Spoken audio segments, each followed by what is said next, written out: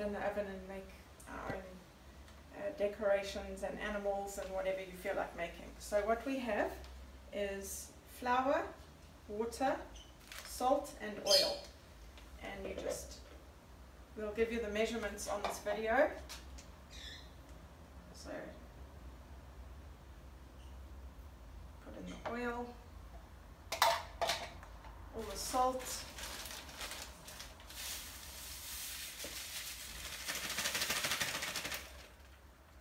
and the water. And all you do is you mix that up. You knead it with your hands. So you need to start mixing with a spoon.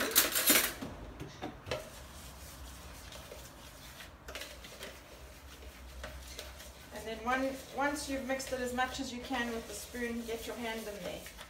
And it does make a mess. So please don't wear your best clothes or, or wreck your mom's kitchen. As you're mixing, press down with the back of the spoon and give it a stir and press with the back of the spoon and give it a stir. And when you look when it looks like you can't mix anymore with the spoon, get rid of the spoon and squeeze it together with your hands. And what should happen is it starts to stick together like dough. So take this ball of dough and wipe the sides of the bowl and get all the flour off. And just keep doing this until it's mixed and it's in one nice neat blob, that there's no bits lying in the bottom of the bowl. It's a little bit of a workout so you won't need to go to gym on this day. And then once it's all nicely together and there's no little bits left, just squeeze it into a ball. Squeeze all the air out, just like you would with clay. And then it's ready to use. So now you need some wax paper and you tear some off and have this, this, just give it a feel and the waxy slippery side you have facing up. And you just line your tray with the wax paper. And then you can take your dough and go start sculpting. Okay, so give your dough another squeeze when you're ready to use it. And then to test it, break a little piece, roll it into a ball and roll it out. And if it rolls nice and smoothly and you have no problems, you can go ahead and use it. But if it's too crumbly, add a drop of water and mix again. And if it's too wet and sticky that you can't mold it, then just sprinkle a bit of flour over and keep doing that until it's the right consistency to use. See, like that there, it's a bit too crumbly. Let me just mix in the moisture a bit more. I think this will be fine.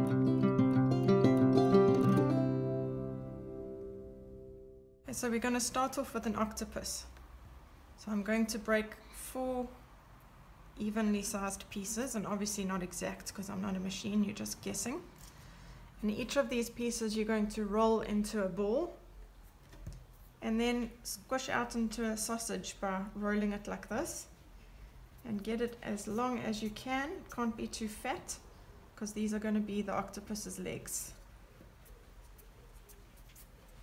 So now I've rolled out the legs and what we do is we curl them around and we just create interesting shapes and crisscross them over so it makes the eight octopus legs.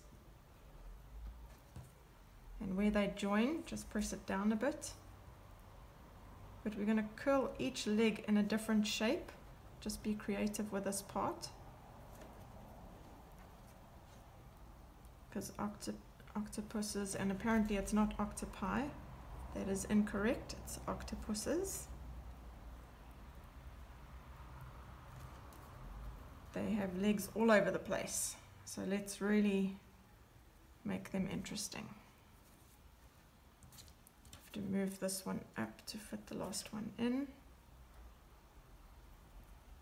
So just create a really interesting shape with the legs.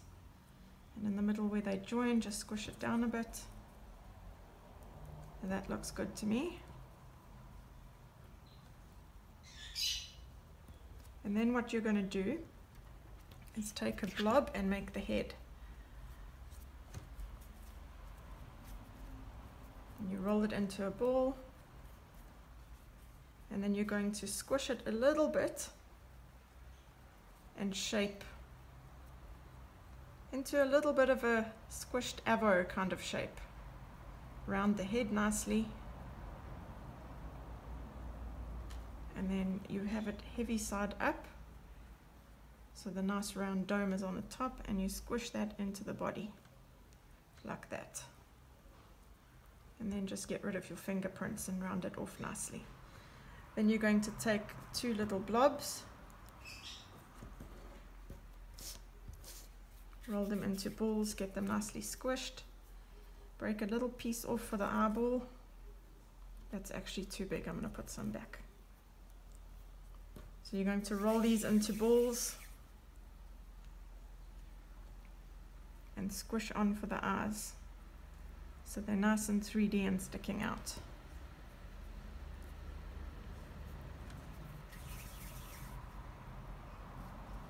This one's crumbling a bit. I think I needed a bit more oil in my dough. Okay, so you squish it on.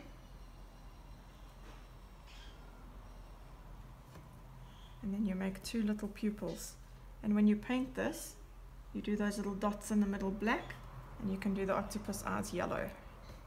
And paint your octopus however you like. Paint them whatever color you like. And then picking them up is a bit tricky but it's actually better to build him in the tray